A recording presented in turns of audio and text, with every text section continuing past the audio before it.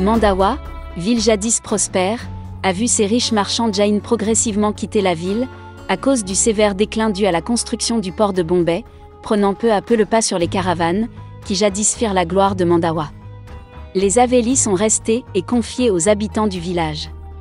La petite ville de Mandawa au Rajasthan, qui compte moins de 30 000 habitants, est célèbre pour ses Avelis. Les Avelis sont les demeures richement décorées des marchands qui prospéraient, avant que la route de la soie ne fût abandonnée par les caravanes.